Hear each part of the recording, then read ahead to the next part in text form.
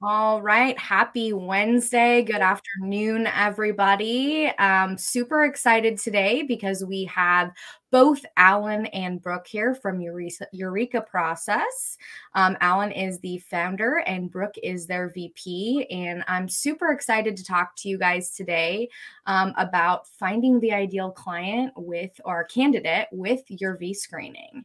Um, love to hear about that. Um, but I would love for you guys to just dive in and kind of just tell um, our viewers and listeners that we have live today kind of who you guys are and what you are about. Sure. Can we switch to the uh, screen share? Absolutely. Let me bring that up there. Awesome. So, uh, yeah, so we are going to talk about finding the ideal candidate. Um, and so I, I, think that merits why the heck can we talk about that? Right. Uh, uh, so I've been in IT since 94. I've owned an MSP business. I've sold my MSP business and I've ran two other MSP businesses. Uh, and now we are a vendor to uh, MSPs. Uh, we, we offer two services.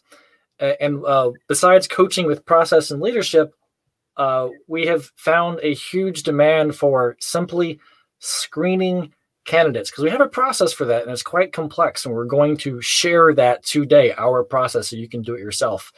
Uh, but so many people come back to us like yeah love your process don't have the time can you do it for us? And and brook's been primarily responsible uh, for doing that for us and brook i'll let you introduce yourself as well. Uh, my name is brook lee. Uh, i've been in it since 96 97 uh, I've been in MSP since uh, 2011. Um, I've known Allen for probably seven or eight years at this point, maybe. Um, we worked at the same MSP together, um, and he left and then started this business Eureka process. And then I came to join him about two years ago. Uh, the V screening process uh, or service that we have it's not where not what we started out with but we saw a need for it and part of what we do at eureka process is we we like to help people as corny as that sounds um, people were really struggling with this and it was something that we knew how to do and we felt it was in our wheelhouse so it, again it was just a way for us to help um, our clients uh, what's fun is when Brook and I were, were first working together, we went through a, a, uh, a massive period of growth in our service department. We went from 12 people to 24 people. Oh wow! Uh, like what time span did that happen? Uh, I mean, that growth was over four years, but most of it was in a in a more compressed period of time. Uh, and in the end, we Brook and I were so busy because she was a, a, dispatcher at the time. I was like, "Hey, can you review these resumes for me?" Because um, there's too many. Uh, and we ended up uh, adding some automations and workflows in ConnectWise and creating a process where Brook knew which boxes to look for, uh, and we, we, we streamlined it. And at the end of one year, we had gone through 5,000 resumes, probably hired 10 people, probably kept about eight of them at the time. Okay. Uh, and a lot of that uh, early practice that she and I did developed the process into what it is today. And that's what we're going to share is that process that we came up with to help quickly screen for quality candidates. Uh, share one stat uh, for those who utilize our services, we are uh, promising uh, a interview to hire ratio of 50% or more, meaning on average, the person we send you is the person we're going to hire. Uh, wow. It's not okay. a recruiting service where we're like, hey, try this, try this guy, try this guy. How right. about this guy? Uh, it works completely different. It's like, here's a guy you should hire. Do your final interview. And that's all you have to do. Fantastic. So you guys do a lot of the like foreground work and a lot of the, you know, on the ground finding out like if they're actually going to be a good fit, you know, a lot of the time consuming piece it sounds like. Uh, absolutely. It is all about time savings. People want to re- uh, compare us to recruiters. And while we're doing the recruitment piece as well as, as a necessary evil, it, it's not our unique ability. It's not what saves you time. It's the screening, the having to interview, test, uh, we, we simplify that and hand you a complete package at the end. Uh, the good news is for those do-it-yourselfers, we're going to share that whole process right now. Uh, what it looks like. Uh, glad for you to take this and do it. We definitely have people who have successfully implemented this process and they enjoy the screening and hiring process. Great. Here's how you can streamline that. So, a quick question for you, Allen. Um, when you're looking at the screening process, um, what is the most typical candidate that you're looking for? Is it a tech? Is it sales? Um, what kind of ground do you guys cover there? Uh, it's uh, I'll let Brook answer in more detail. It's definitely in the service delivery department. Uh, we have not been asked to look for finance, sales, mm-hmm. or even marketing yet. Okay. Um, but even inside of service delivery, there's obviously several different types of positions. Brook, do we have a clear front runner? Uh, it's right now it's mostly service department. It's various levels of techs. Um, I've got probably I think seven different people I'm working with right now. I've got from tier ones up to I call the tier three buck stops here people. Um, we fill dispatcher roles, service coordinator roles. Um, like I said, entry level, um, all the way up to like I said, the the big boy tier three people. Uh, I will add from a recruitment standpoint, the probably the most difficult position we're looking for these days yeah. uh, is field tech or on-site tech. Uh, okay. uh, I, am sure COVID fears have a lot to do with it. Safety, uh, also uh, a, the comfort and acceptance of being able to work from home, uh, yeah, and not having to travel anymore. so Brook's been working with a lot of our clients to change up job descriptions, really push benefits and and the, the benefits of working for this your company to get more candidates, but that has been harder to fill. Definitely, definitely. And we see that all the time in the IT and MSP business owners group and, you know, with a lot of the MSPs that, you know, we work with here at Seven Figure MSP too. Mm-hmm. All right, let's let's dive into the processes, yeah, shall we? I'd love to see this. Uh, for those watching, feel free to ask a question at any time. Um, Lisa's volunteered to interrupt us at a good time. uh, we could go on forever. Uh, we cannot get through every detail of this process in the time allotted today, and that's by nature. I talk fast. Brook talks faster. Uh, so also glad for slow down feedback, uh, and I don't mind expanding an area that you're interested in. Uh, sure. And it, it, even if we don't get through all the content, that's fine. I, I'd rather talk about what you guys are interested in. Fantastic. Well, all right, we'll start at the beginning. We have to let people know you're hiring. Ah. Uh, I, I, don't like this part, but it's all we have to do. This should be based in a job description. Uh, I've seen tons of topics at uh, at the uh, IT and MSP uh, business owners group about, hey, what job description do you have? It's a great starting point.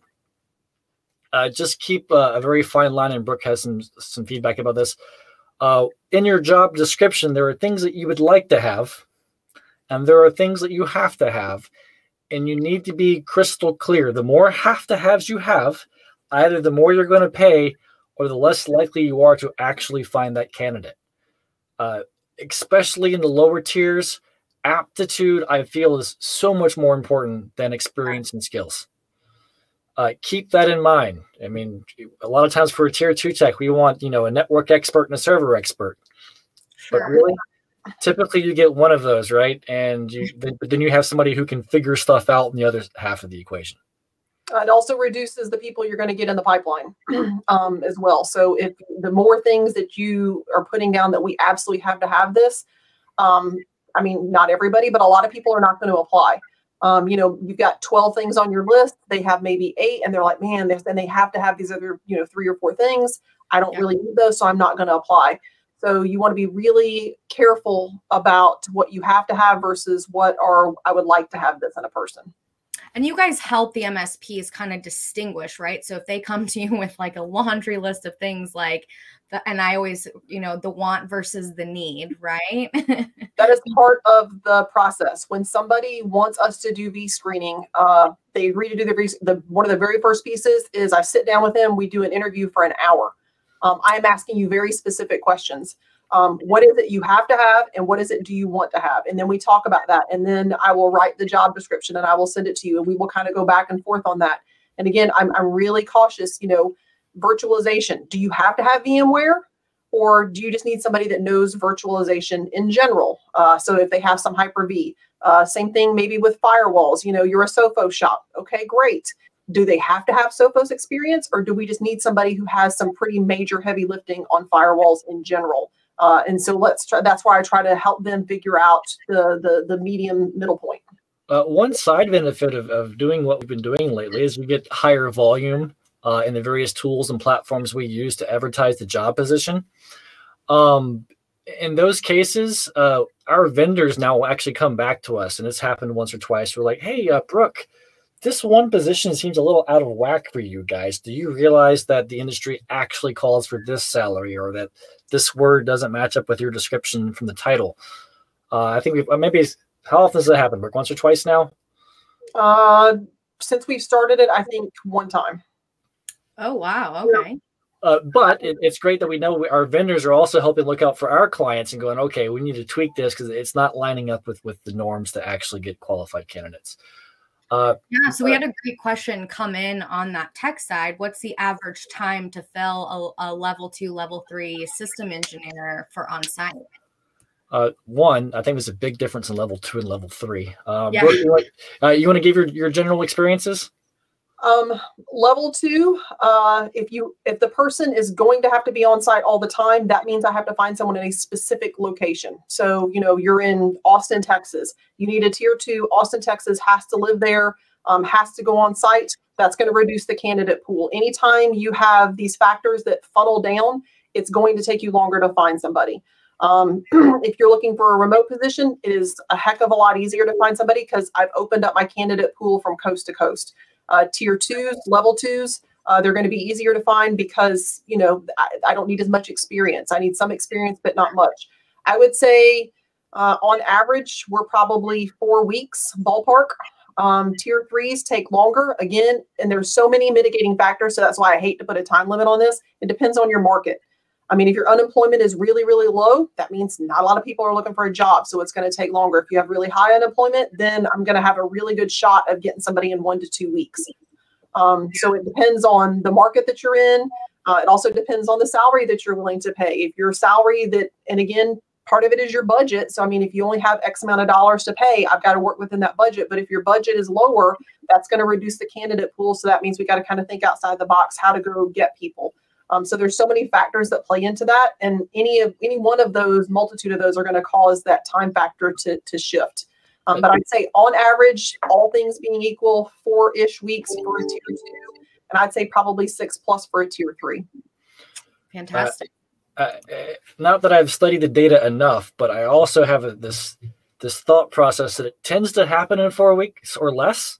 But then if it doesn't, it tends to take quite a while, is what I found. If we haven't found a candidate in the first four weeks, it's it gets a little lengthier uh, to get that candidate on board.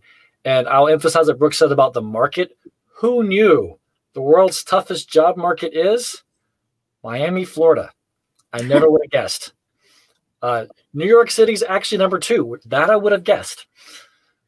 Yeah. Okay. That's interesting, you know, because you think that it's like so populated and there's a lot of people in a small area that it would be easier to find a qualified person. That market is super tight down there. And because it's so tight and the candidate pool is so small, uh, they can command extremely high salaries down there.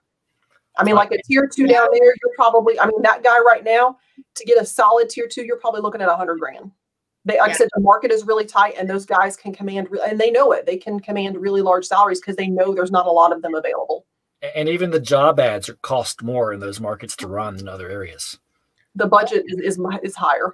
Yeah, definitely. So definitely. speaking of which, the second part of getting the word out is a marketing statement because it really is not a job post; it is a job ad. You are advertising, and nobody really wants a job what they want is I is an income combined with a place of belonging, right? They're, they're joining a team. They might prefer to go to the Seahawks versus the Buccaneers. I don't know. There's something about the team dynamic. Uh, and, and, we have a little more on this, but don't forget that you are marketing yourself and you have to have this as a part of getting the word out. And that it is an ad. So you, you have to sell them on, on what is needed and help filter it from there and place the job ad. So uh, I'll, I'll, keep this fairly high level because I hate this part. Uh, necessary evil. Necessary evil. Uh, don't forget to give uh, multiple points of view in the job description. You need general, contextual. Um, I even like to write a day in the life if I have room. Like, I hey, you come in, you do this, you do this. Uh, sometimes we get to go do this. Show them what it's like because you want to while you have to sell this in a positive way, you want to set realistic expectations. You don't want to convince somebody to come work for you and then they're disappointed in what and versus their expectations. Absolutely. Uh, I'd rather take longer to hire than have a what we call a boom, boomerang. Uh, yeah. We hire them when they're gone. well, I like that analogy, a boomerang. Okay. Yeah, and uh, we've already mentioned the difference in requirements versus would like to haves, but there's also a, a, a difference that we have to think through on experience versus skills. Yeah. Um, you know, time on the job can be a good thing, a great thing, better than skills sometimes, or better than documentable skills. Sure. Uh, uh, at the same time, Brook will tell you sometimes experience on the job can be a bad thing. Like you've worked in corporate IT for 20 years. Right. How do you going to handle the MSP world? Uh, rarely does that work out. I've never taken somebody from corporate and put in put them in an MSP space.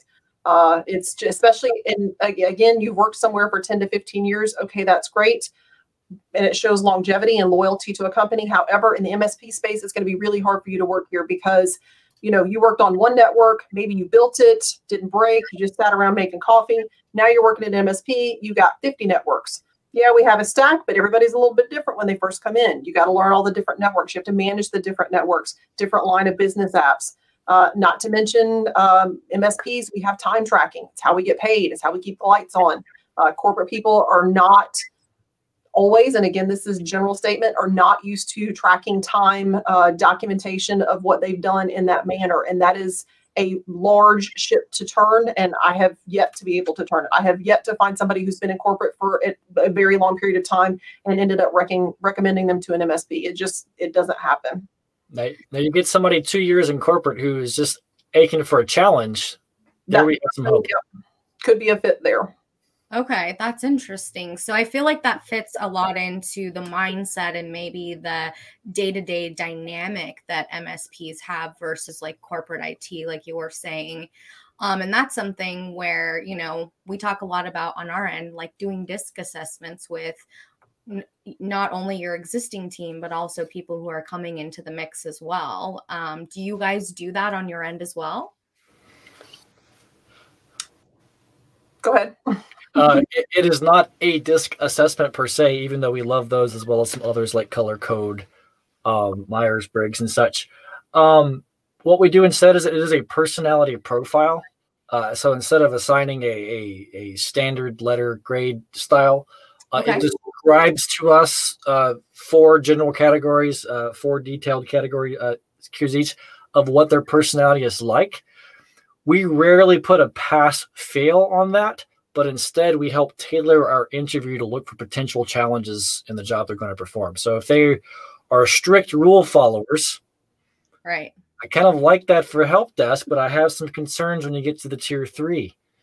All right. I want somebody who can think outside the box and, and try a few things. And so it doesn't mean we're not going to hire them. It means we're going to ask them questions during their interview about their working style uh, in that regards. No, I, I like that. And I think that's, you know, really important in understanding not only how you yourself as a person works, but how you interchange on a daily basis with other people who have different personalities or styles of doing work um, mm-hmm. based on where they've been before, right? Yeah, and there's every now and then we have somebody where we, we, we discover a line of questioning uh, due to the personality profile, and we determine it's not going to be a fit. Right. Uh, but it's but it's not the test itself; it's their responses to the questions the test causes us to ask. Fantastic, awesome. All right, so I'll keep this brief and simple. Uh, you have to sell your company and your job ad. Uh, the example here is ours. Keep in mind, I don't hire very often, uh, so I haven't had a chance to revise ours over and over again. So there's Fair. nothing magical about the sample we have up on the screen. Uh, but the sample is this is the cool stuff we're doing. These are our core values. We want somebody who wants to enjoy that. Uh, I know when we were, I was doing uh, uh, looking for a tier three, which was taking forever in a market in a very small market. People love our town, and we had decided to start allowing people to relocate to our town for the job. So we sold the town. Like, hey, Savannah, Georgia, beautiful. We have marshes, we have islands, we have water sports.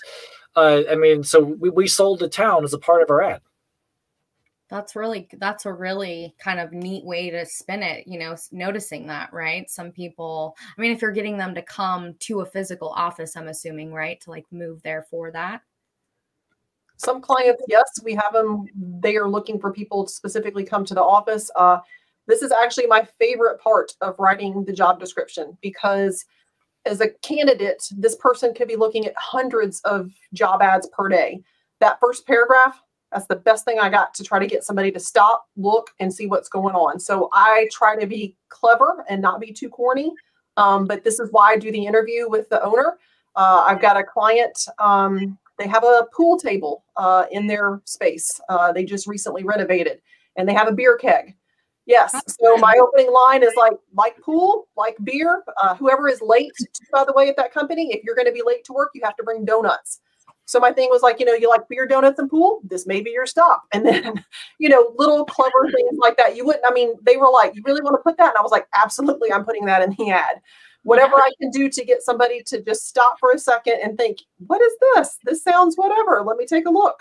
Um, and so I've done several like that. I've got a, a client. Uh, their name is sort of superhero-ish.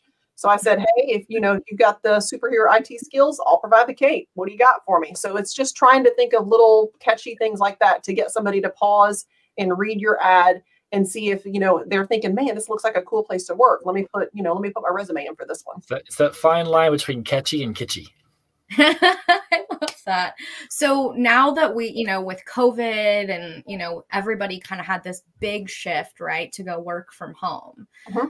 Now I can, you know, how has that changed in that kind of description for you to kind of get people, you know, yes, there are people that want to work from home, but how do you get that to appeal to other people where it's like, you know, we're not all going to be in an office together. We're not going to see each other in person every day um, you know, but there is something to be said about a completely remote workforce when it's done right, right? I, I actually see the exact opposite, Lisa. We're having to sell our clients on hiring remote. Uh, a, a, oh. lot of owners are still like, nope, I really want them in the office. Uh, many states are now allowing people to work in the office with, with social distancing measures. Uh, and, and, they're and we were having some mental health issues. I'm not talking like crisis by any means, but we're having people who aren't performing as good remotely, mm-hmm. uh, or uh, even if they're performing well, they're reporting that they're less happy at work. They're missing the camaraderie. Where's the teamwork? I'm like, well, you're not reaching out via Slack or Teams or or calling videos. So we're finding a lot of people prioritizing getting people in the office working together again that's nice actually nice to hear you know? It's good to hear that people want to go back in to the office. Um, you know we've seen that here in phoenix arizona you know people the offices are starting to fill back up more and more capacity. So i mean that's interesting. I just was interested to see how that has kind of changed if you know on the msp's end yeah, and I, and I think we spend a good bit of time trying to convince business owners to hire remote workers, both remote in city so they can participate in things and remote distance. And that was been actually a harder sell than I imagined for IT firms. Uh, it, some of it is because some of the firms that we work with, their their clients are there locally in the same city with them, so they do on-site visits. Um, I've got one client that they only have remote workers, but they don't do any on sites. Everything is remote support. So therefore, you know, that guy doesn't care where this person works. Um, but the ones that, like I said, they support local businesses more than others, they want somebody there in the office. And all of the people that I work with, they've made um, adjustments in the office to be able to allow for the spacing of the desks. You know, things have moved apart. Um, you know, they're taking the temperatures when they come in every single day, things like that. So, you know, the, the companies that we work with have made uh, significant, uh, I don't know what word I'm looking for, uh, accommodations to make sure that if you want to come into the office, that we will make it safe for you to be able to work here. All right. Let's, All right, let's, let's finish off where to advertise jobs at. This is a pretty clinical exercise here. Uh, you bring in all those things together your job description, your requirements, your marketing statement. Uh, people will fight me. Feel free to do so in the comments and ask questions. But we strongly believe in advertising pay. Mm-hmm. There are people who are diametrically opposed to this, and I get it. Uh, but this is a type of filter. I don't want to talk to somebody who wants twice what I can pay. I don't want to talk to somebody who wants half of what I can pay. There is no such thing as a, as a, as a white knight that you're going to magically pay half for and get what you need. Right. Uh, you can give a wide range. That's okay, but please give us a range to work with to advertise for. This is Okay. a very important filter for everybody's time. Don't forget call to action. Most job platforms, this part's super easy. It's built in. Uh, but if not, don't forget to tell them how to submit what. Is it a resume? Is it a form to fill out? Uh, give me instructions they need. On then, of that course, action, I have a question for you versus people that just put an email address, like send your resume to sales at, versus people who have it where they fill out the application online. Do you guys see a difference in the response to each of those? Uh, you will see more about our process around that shortly. However, if we can make it easy for you, the screener, to screen resumes more quickly, I say put as few entries, sorry, as few barriers to entries as possible to get their application. Um, while you would like them to really want to work for you and have sought you out, the fact is, if somebody's looking for a job, they owe it to their family, to their to their bill collectors, to go out and get a job. So they they are going to apply for as many as possible, and I get that. Um, and so our job is just to screen as effectively as possible. So we make it easy, and you're going to see why we recommend just having them email a, a resume. Okay. Does that answer your question? Yeah, no, great. I'm glad you went over that. All right, we're going to post. Uh, first of all, don't forget your existing staff. They know people, they have friends. It's the greatest compliment anybody can pay to say, you know what? I love where I work. I wish you could work for us too. Uh, so create some sort of program in writing, reward your employees for making those recommendations or hires.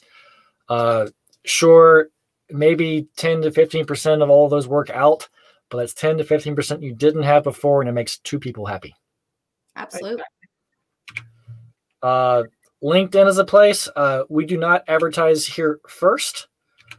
Um, uh, we use it as a backup plan. We are finding not a lot of difference in the quality of candidate, which even though I expected that, but we are also finding a higher dollars per applicant, dollars per successful applicant. Okay. Uh, so we we tend to save LinkedIn for after that initial four weeks. If we haven't found somebody, okay, let's expand uh, to LinkedIn. Our primaries are using Indeed and ZipRecruiter. Uh, I don't know all the details. Uh, fortunately, Brook and Veronica handle that for us. Okay. For ZipRecruiter, we actually have a recruiting account and we pay a monthly fee that gives us more access to post things. Uh, and Indeed and LinkedIn, we just get bulk discounts for doing that. oh, very good. Okay. Uh, Facebook is an option. It's not more fav- my favorite. You can post it organically. People will see your job ad if they go to your go to or follow your your site. But paid uh, Facebook is also an option. Uh, we always take advantage of all the organic stuff because it's free. It's easy to copy and paste our information over. Uh, and then from time to time, we will turn on paid Facebook again if other things aren't working. We need some more candidates. We like to try new things. Hey, Craigslist. Still. It's still weird. Expecting that at all. Uh, we do not lead with Craigslist again. It's not Sure. expensive, but we tend to wait for the first four weeks. And if we get it filled, great. Or if we have a huge pipeline, great. But for depending on your market, 25 to 45 bucks, you get a 30 day ad. We tend to get another 10, 20 resumes that way. And, and so some, sometimes some good ones. So well, we like to keep trying different things because every market is different. yeah. Craigslist is not dead. Ah, I thought it was. I, I thought so too at first, but then we tried it when we had some positions that weren't getting filled. Like you know, after seven, eight weeks, like okay, let's let's try it. That's that's crazy, but that's awesome. I would have never thought of that. Uh, and I'm sure there are plenty more. Uh, Just- yeah, I was gonna say we get that question a lot in the IT and MSP business owners group. Like, is it better to do Indeed or ZipRecruiter, or there's like you know a lot of other ones out there. and we have not vetted or tried them all. I'm a firm believer that if you take a hundred choices, you've just multiplied the amount of time you've uh, stopped to get started by a hundred. Uh, so create your requirements, find the ones that match it, and then occasionally experiment, which is why we have the list that we have. I would also say advertise on your company's website. Oh, I did not list that. Thank you for reminding me. if you have a, a, website and you can throw that up there, I would definitely put it on the company website. All of the ones that we do for our clients, we advertise on Eureka Processes website and all of our social media as well. Um, so we do Facebook, LinkedIn, Instagram, uh, Twitter. Uh, we post all of those jobs on all of those social media platforms. Um, and another thing, if you're going to do this yourself, uh, this is mainly if you if you've got a city where you're looking for somebody locally. Uh, don't forget the job fairs. They are yes, they are time consuming for you to go do those, but it gives you some community, what I call community street cred. Uh, usually, the people, the businesses that, that participate in those, the city looks favorably upon you. It looks like you're participating in the community. You want to hire from people from within the community. So if you have somebody that you know can maybe invest that time, it's it's a good community outreach tool. And most IT firms are, are, are at least our our uh, process coaching clients. They're doing well. They're all hiring right now. Yeah. Uh, some of them are hiring multiples, uh, and and every time they fill one, there's there's more to hire. Yeah. Uh, so there's value in going to a, a job fair, even if you don't find someone that month.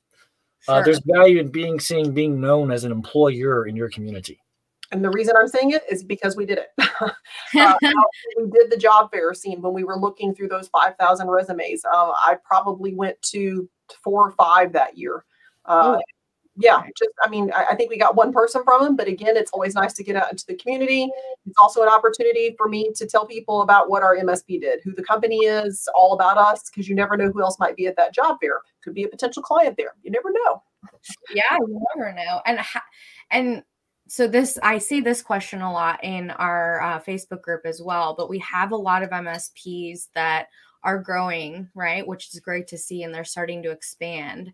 Um, you know, co-location now, right? We're gonna have an office in Los Angeles and we're gonna have an office in Miami, Florida now. Mm-hmm. Right? So they might not have the opportunity to necessarily go to a job fair because that's not their necessarily local market to where they're located. How would you guys recommend them kind of finding people in that area that they're new to? Uh, I would say use the platforms. I have a client now that's looking for one person, but I'm advertising it in two separate locations at the same time.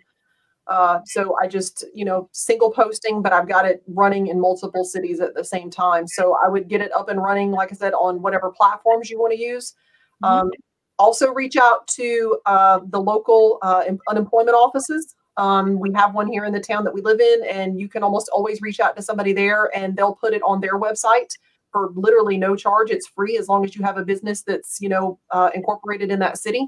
Um, and they'll put it on their website. So when people are looking for for jobs, especially with COVID, there was you know all the heavy layoffs. Um, yeah. So that's another place where you can do something locally uh, in, in a new town that you're in. And again, it's it gets community buy-in. You know, they they know that you're new there and you're looking for people. And anytime you can, like I said, strengthen community ties, I think that helps. Uh, I'll reiterate: if you're in a new market, even if it's minimally staffed, um, for your second market, find ways to get involved in the community, chamber of commerce, job fairs, even if you have to ask a technician to show up with a shirt on, um, or hopefully have a salesperson in the local market. Uh, it's a team of it's a team sport. Be seen.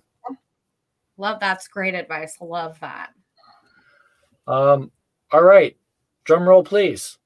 Our whole screening process is right here for you. You ready? Ready. That's it. That's all you have to do. all right.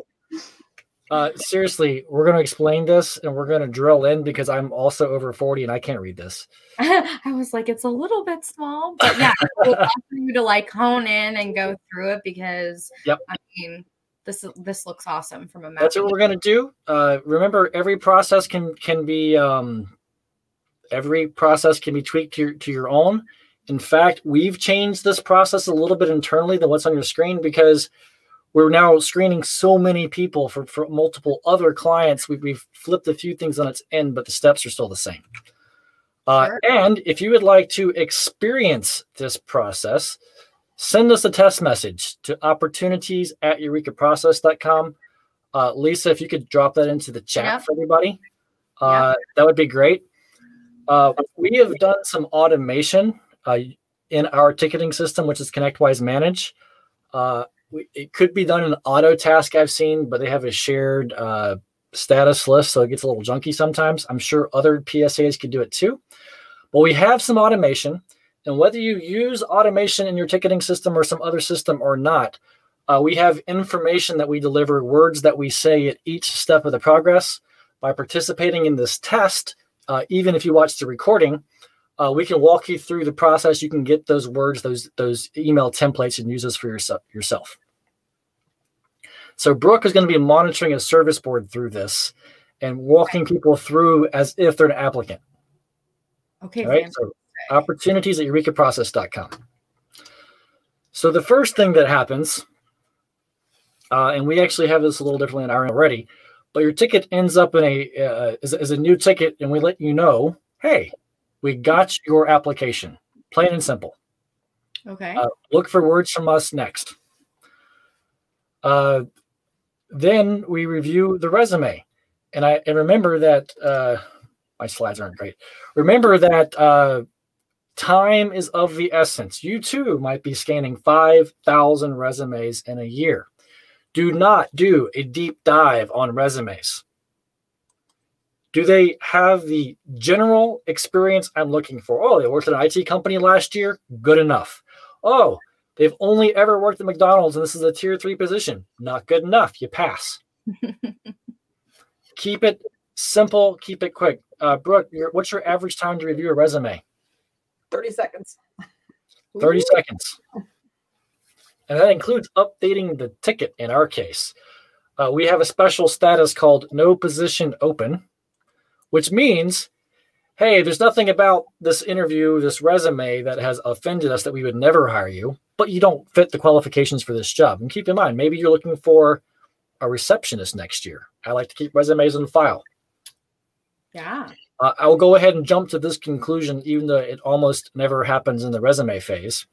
We also have a no position, a no fit that's our code word for you don't fit our culture. Sometimes you have done something offensive during the process. It happens. Like we turn you down and keep your resume, and you go, "Oh, f you! Uh, I didn't want to work for you anyways." Okay, well, we, we just moved you from maybe later to never. Sometimes you get you'll get people that will apply for a position and they're underqualified. It's not that they're not an IT person, but maybe he's maybe he's just a tier one and he's applied for this senior role that I have open. This person is not a good fit for that but I want to put a note in there and I want to change the status. So if they need a tier one, maybe, you know, three months they've grown, they got a couple new clients and they're like, hey, Brook, do you have any tier one people?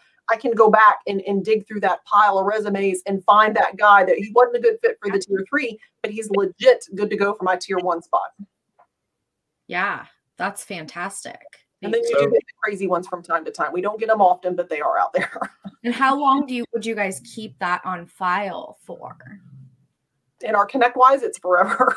Okay, I was going to say. ConnectWise, so you know, it's, it's forever. Um, it stays out there. But generally, if if I've uh, saved something in that particular status, and sometimes I even get to the interview portion, and when I interview, I realize this person's not going to be a good fit, and I will let them know, hey, I don't think you're a good fit for this role, but I want to keep your stuff on file. And I've actually there is a, a client that I have in the Midwest I talked to a kid. He did not have the qualifications. Super nice, did great on my side, had the attitude, aptitude I was looking for. And like two months later, the owner was like, Hey, Brook. And I was like, Hold up, I got a guy. Let me go track him down. so I went and got him and I was like, Hey, he's got this job open. Here's the description. Let me know. And he was like, Absolutely. And he's been hired and he's been promoted and he's been there like five months. So it's, you know, you just gotta think kind of, is this person, is this a is this a good girl, a good guy? I want to save them. They don't fit this, but I want to save them for later. And I'm honest with people, and people think that it's that whole you're kind of blowing smoke when I say I'm going to call you back, but we do, and I've done it several times now. I mean, sure, ninety percent of them don't get callbacks, but right, those who made it uh, uh, allowed it to happen. Mm-hmm. Opportunities occur. Yeah, all the time, all the time. All right, so we reviewed resumes in 30 seconds or less for each one. Oh, we have a question that came in real fast, Allen. Um, if you use Indeed, do you still ask the candidate to send resume to your uh, ConnectWise board? Uh, absolutely, and I believe we have Indeed send it for us. We do. It's a default. Well, it's not a default setting. It is a setting on Indeed where I can say when the person applies, I need the resume, so the resume comes in attached with that email that they've sent in. So, I mean, there are certainly some complications with each platform. Uh, and some of them we've chosen to deal with the complications. Other platforms, we said, you know what, our process saves us time. I can't break the process just because some platform makes promises. And uh, Matt, so, for the test, you should have just received an email from us saying that we got your application. Uh, so congratulations, you uh, we have your application, and, and we've reviewed your resume. We have found it not wanting, but quality resume. So we're putting you on to the next step. Now, I can never remember which slide is the next step, well, but it's showing on this slide. Next, we send the email interview. One of my favorite parts. Uh, for the email interview, and uh, slides over. I thought I had some responses here. Yeah. Our email interview. We ask three questions. You certainly have alternatives, but we'll do one questions at a time and let Brook explain why. Why we ask the question and how we evaluate the answer. Go ahead, Brook. Uh, first one, and I will caveat this entire thing. These are three questions that Allen and I developed when we were going through the 5,000 resumes. So these are not just something we decided to pull out or whatever. Um, what do you know about our company? This is a simple question. I want to know can you Google? Do you care enough to go look up the company's website and tell me, do you know anything about this company? Hey, I'm applying at seven figure MSP. I know that Lisa is the marketing person there and Chris is the owner. You just want to know does this person care enough to go do a little research on their own about the place they're applying to? Oh, sure. Um, so that is the reason we ask that question. I will get people that will say, I don't even know what company I'm applying for. Um, again, it's not a deal breaker, but it lets me know that you're not really that interested in pursuing the, the, the role that we have open here. Yeah. Second question. Uh, second question, what makes you a better fit for our company than other candidates? Uh, I've got a couple comments from candidates that I've interviewed that this is a loaded question. Uh, I am not asking you to tell me that you're the best thing since sliced bread. I am asking you to answer this question so I can figure out what kind of person you are. Um, if you come back and answer this question and tell me you are the best thing since sliced bread and you're an expert in everything IT under the sun and there's no one better than you, we are going to have a serious problem. You have some ego issues that we are probably not going to be able to get past because we all know in the MSP space, we do everything. Nobody's an expert in everything. Uh, tell me what your real, the, my favorite answers are the ones where the people say, I don't really know who else has applied. But let me tell you about myself. I'm really, really good at servers. I'm kind of light on the networking. Uh, people that are willing to open up faults out of the gate, I always think extremely highly of because nobody's an expert in everything. I don't care what you say on your resume. You know that there's things that you really know you know, and there's other things where, yeah, I can figure it out, but this is definitely not my my strong suit. And I want to be honest and upfront about that. So that's why we ask that question to kind of get an idea of who that person is. Great. Uh, Third question Can they break down simple concepts we take for granted into clear steps? My, our question is Tell me how you buckle a seatbelt and why you would do it. The reason that we use this question is because in IT, um, we take things that we do every single day for granted. We do them every single day, day in and day out. It is like we don't even have to think about it. We do it so often. So reset the password in AD, for example. Everybody right. knows how to do it. But if I need to explain to someone else how to do something, I need somebody that has the ability to break something down that seems so easy to me into terminology and steps to a person, especially if I'm getting them to help me troubleshoot something. I need somebody to check a cable on the back, see if a light is on on the network card. How can I describe that to someone who's not technical in a way that doesn't come across as condescending, so you don't come across as being a jerk? Um, how can I explain this to somebody in really good terminology? Second part of the question is why should you do it? A lot of people forget to answer that part. To me, that lets me know that you're not paying attention to the details. You did not read the entire question. That can cause you a whole bunch of heartburn in IT. you know, I've got this SOP. It is six steps for me to get from mm-hmm. point A to point B. And I got all the way to step four. And I was like, yep, I'm good. And took off running. And guess what? Number five and number six are so important. And because you didn't do that, the client is now down. So reading the entire question, thoughtfully answering the question, I have some people that have fun with it.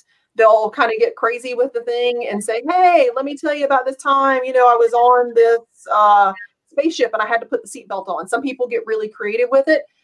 If you do that, or if somebody's just very black and white to the point, again, as long as you answer the question and both parts of the question, that is the it's less of important to me, whether you're having fun with it or not, it's just the fact that you took the time to answer it in a clear manner and you answered both parts of the question. So, Brook, how often does somebody fail this part? if you had to make a guess, how do we filter at this stage? A quarter, 25%. So, about a quarter, we, we rule out at this point they can't write, or they won't write, or they show some serious attitude problems. Yeah, or they are just a jerk. or they're okay. on one of my one of my job descriptions, it says on there, you know, we're looking for good guys and gals. Jerks need not apply. Uh, MSP space is it's very different. It is so teamwork oriented because again, I may be really good at servers. Allen's great at firewalls. I've got to work with him. I am stuck. We have to work together and you know figure this thing out. We don't have time for people that want to sit on a pedestal and say, you know, I'm the king of the tier threes and I can't help you and I'm not going to coach you and I'm not going to, you know, give you kind of a push in the right direction so we can go solve this together. MSPs yeah. just don't have time for that type of person. No, absolutely. You're spot on with that. So these are people that got to this point, the 25% that I'm saying have a nice day, resumes look good. Resumes look legit. They had everything that I needed from a tier one to a tier three, but they just cannot get those three questions right. And I'm like, you know what? I don't care how smart you are, you're a jerk. We don't need you here. okay. Love that. um, and notice we have exit states for the for our automation ticket. Yes. Uh, you know, they, they, might not be a cultural fit at this point, or we might not have a position open for them at this point. Uh. On this process, and I'm going to tell, go ahead and talk about the differences in what we do now and what we used to do. Typically, we would do a phone interview next. Uh, okay. That was especially effective five or six years ago. Uh, uh in that case, Brook would would uh, we would set the status for automation phone interview requested and ask them to uh, give us best times. Well, now we have Calendly, gives them our Calendly link to book book an interview. Yeah. However, uh, so many of the vendors who sell personality profiles aptitude tests have these unlimited programs. Uh, our time is valuable, so we are now actually sending the personality profile test at this stage. It pretty okay. much says, congratulations, you've made it to the next step. And Brook, if you want to move them through our process, if you haven't already, uh, please take this personality profile. And guys, you are welcome to go ahead and fill that out. It doesn't cost us anything extra. If you want to take a personality profile, there are instructions in the email you should follow. Don't use your mobile phone and actually dedicate 30, 40 minutes of quiet time. Don't be interrupted. Uh, that test is hard. So we call it our the, the status that we have. It's a candidate assessment because it measures the your aptitude and your ability to learn new skills. So it's not just hey this really this guy or girl is really good at teamwork or this person's more reserved and shy. It's a lot of different factors that go into the test. So I we actually stopped calling it a personality test within our system. We just called it a candidate assessment um, because that's what it is. It's assessing way more than just you know your your color code or whatever. There's a lot of other factors. It, it measures your logical thinking and reasoning skills, your verbal uh, ability, uh, some numerical skills. So it's more than just the color stuff. That's and fantastic. And as I mentioned before, it's this is less often pass or fail. Mm-hmm. Okay. Uh, this is typically uh, informing you on how to ask questions during the interview. Uh, I want to add a side note aptitude test, personality test, there's a, a lot of stigma and there's even some laws against using those for screening. Some states will say you may not rule somebody out based on an aptitude or personality test, or either or, or both. Sure. So if you're going to use one, do research with the company that you're going to use uh, because a lot of them, the one that we have chosen, uh, they have several research studies and stuff to back it up uh, about why they ask the questions that they do. So make sure you're you're researching the company that you're going to use carefully, that they've you know minded their p's and q's uh, before you choose them.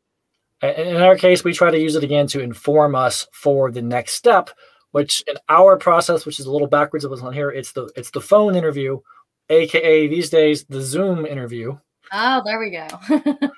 um, and to prepare for that call, uh, this is our this is the first time we're gonna take a little deeper dive, and we're gonna read things before the call. Brook, I'll let you go to this list, but every on your prep for the Zoom call. Uh, I go through their resume once again just to make sure I'm good to go on that. To make sure that I look at their three questions. Um, I look at the uh, assessment that they've completed. Make sure I, you know, any funky questions that I might need to ask. Um, I have uh, a list of probably 20 to 30 different questions that I ask throughout the interview. Um, technical questions are part of what I ask. Um, but if you've done well on the aptitude assessment, I know that you have the ability to learn quickly. I know that you have that aptitude. So right now, I am looking more for your attitude. Um, do you have the attitude, that drive, that passion that I'm looking for, that this person's going to be a good fit?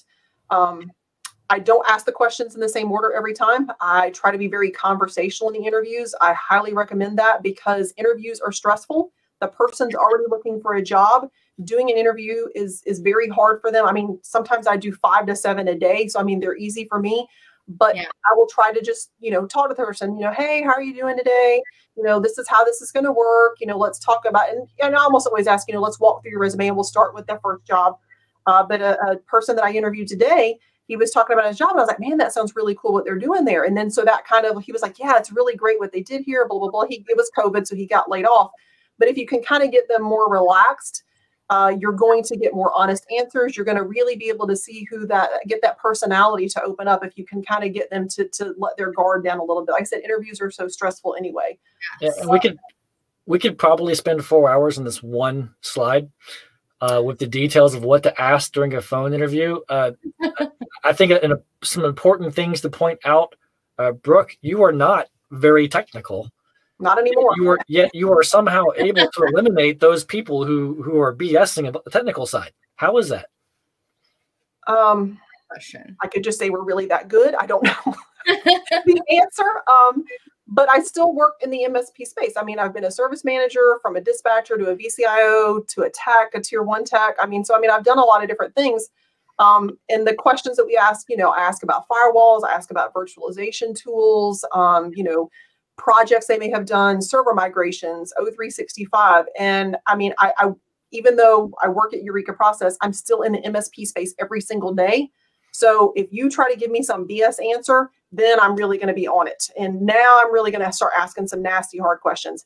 And then at that point, it's really just best for you to tell me, hey, I may have misspoke, and let's just take a couple steps back. Because if you don't, then we're going to be done very quickly. Um, right. I had a guy that tried to tell me he had done a bunch of server migrations, and then I was like, well, how did you, you know, when you set up AD, did you do blah blah blah? And he was like, um, you know what? I need to look at my notes. And I was like, okay. you don't um, want to hear what I'm saying yeah, the interview did not go well. So again, and nobody knows everything. And the questions that I ask, they run the gamut from you know PCs to servers to networking to whatever. And when I ask you the question, the best people are the ones that are say, you know, I can do this on this, but I mean, I can't prep the firewall. I can troubleshoot it and I can do this, but you know, I've never prepped the firewall out of the gate. So that I know what that person and they're confident in what they know and what they don't know. To me, that's something that's that really carries a lot of weight when you're doing an interview. And, and keep in mind on this first interview, this doesn't have to be your tier three interviewing a tier three tech. It doesn't have to be the owner. We have the benefit that we still have to pass it to our client for a final interview. So what we've done is we're recording this call. We're asking open-ended questions, letting them go. You know, Brook knows enough to detect whether to dig in or not. Ultimately, the client gets to see the response and to yeah, see if it's right or not. That was my next question. How much of this information are you guys passing along? All of it. The resume, but only email interview. The person. Only if that person gets to where we're going to recommend it yeah, to the yes. client. Okay. Then they get everything. They'll get the resume, they get the assessment, they get the Zoom interview for, that we've recorded for them. I send them an email that's kind of got my cliff notes about, you know, hey, this is what I really like about this person. This is where I think they're kind of light on it. And this is why I think they're going to be a good fit. And when I when I do the interview, I tell them, you know, if you get to the next step in the process, that that's the last step. That's the final interview. You're going to interview with X, Y, and Z, and there's going to be tier threes in there, and they're going to ask you more technical questions. So be prepared. So I set the expectation, but they only get all of these things if we recommend that person. Right. And sometimes they check nine out of 10 boxes, and we try to convince the client look, uh, we think you'll agree. We've checked nine of these boxes, so don't waste your time on those nine boxes. Sure. Go focus on that tenth box. If they have to have it, you have to see see that they have it. Uh, and then I'll add uh, one awesome book read regarding hiring the ideal team player by Patrick Lencioni. Uh, he adds the requirements, and I like these requirements for hiring better than making them core values. Hungry, humble, and smart. Hungry, think of it as drive. Humble, lack of ego. Uh, and smart really means people smart, not technical smart? Do they do they get social cues? Can they work in your team environment? Uh, so that's a great book, and they also give you tips about how to check each of the three boxes: hungry, humble, smart. Questions to ask, uh, and they also talk about extended interview processes. So great book, hungry, humble, and hungry. I'm sorry, the ideal team player: hungry, humble, and smart. Uh, I love that, and we are very short on time. I know. I was just gonna say we're getting into the last you know few uh, minutes that we have together here is there anything else on your slides that you guys want to go over uh, um, i'll run through them in just 60 seconds uh, okay. Uh, obviously at the end of this uh, brook mentioned she has notes. So even if you're doing this internally you need to be taking some notes on how the interview went what happened. Recordings are best in a zoom world. Uh, to share with the rest of the team because we do feel like those next or final interviews should be group settings. We were a, a 20 person company at one time, uh, and we had at 1.5 people in the room to interview. The two owners, a manager, somebody, aka Brook, who we just really appreciated their opinion, even though they weren't necessarily a boss, uh, had great insight to hiring, uh, and a technical person. Okay. You've only got one chance to get this right spend the resources you need to spend, especially if you have been super efficient through the rest of this process. Now is the time to put resources into this to make sure you hire right because hiring twice is way more expensive. Yes. You want somebody in the room that gets the company culture. Um, you want somebody that's going to be able to see is this person going to be a fit? Because even if they're super smart and everything else, if they're not going to mesh with the rest of the team, it, it's going to make it you know, life is not going to be fun for so, anybody. It's going to be hard for that person. It's going to be hard for your team. So we will run you guys through the rest of the process, and I think you're going to end in a uh, "sorry you didn't get the job" email from us. Uh, so we'll keep running uh, your ticket in our system through it, so you can get all the emails along the way. My last point is when you decide to hire, I make the offer over the phone first.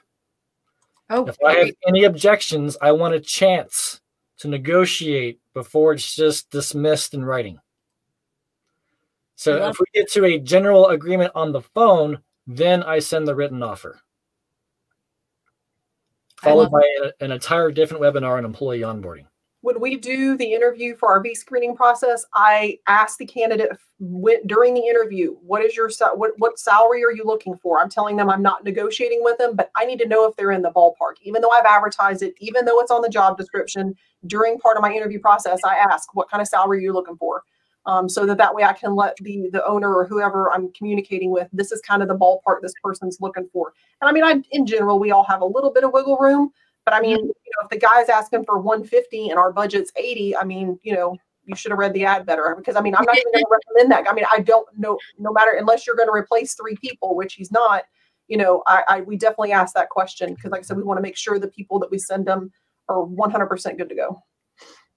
Now, I know we're going to get this question, but for anybody who's watching live with us right now or might be watching later on, how can people sign up to have a call with you and find out if you know what you, you guys can help them with? You know because as you see in the it and msp business owners group there's lots of people asking about suggestions and lots of other things when it comes to hiring uh, probably the, the the easiest resource is just the website eurekaprocess.com um, we have our overall process for for business coaching there, uh, but there is under services a V screening if, that, if that's your interest to learn more about that. Uh, all of these processes are actually documented at our paid membership site, the eurekacommunity.com. Okay. Um, uh, I am also, I mean, this webinar is recorded and will be available as well. And if you want to ping us on IT and MSP BOG, feel free. Just you know, at Brook Lee or at Allen Edwards, and yeah. we'll respond. If you want to go straight to the fun, you can go to eurekaprocess.com and we have a V screening uh, under our services. Uh, you can go there and you can set up a call and talk to me. If you're ready just to, you know, let's just make this happen, then you can go there and we just will talk for an hour and we'll figure out what we need to do and get a plan together. Yeah, I mean, one of the cool things about our services is, is we actually charge a flat rate uh, plus marketing cost. So we share marketing costs amongst all of our clients to minimize that. Uh, and the longer it takes, just like with your MSP model, the longer it takes since we charge a flat rate, the less money we're making. So we're incentivized to get this right the first time. It's possible to get you a hire. Love that. Love that. Well, um, I really appreciate Brook and Allen having you guys on here today. Um, love this topic because, like I said, when we first uh, started the webinar, we get this question so, so much in our program. And we see MSPs, like I said, in the community that this seems to be something that is just very, very time consuming. And you guys do all the heavy lifting. So it seems just like a no brainer. it helps when you have somebody that's that is in the space because we know what it we I, I know what it takes to make it. I know what it takes for somebody to be successful in that space, and it's not for everybody. Um, and so we want to make sure that the people that we're you know submitting or people that you're hiring that we want them to be successful. So I want to make sure that you have candidates that we're setting up for success out of the gate. Absolutely. Absolutely. Well, thank you guys so much for your time uh, today. Really appreciate it. Um, I'm going to pop that link back up. So, anybody who is interested, be sure to head to eurekaprocess.com. Um, you know, feel free to reach out to Allen or Brook in the IT and MSP Business Owners Group as well.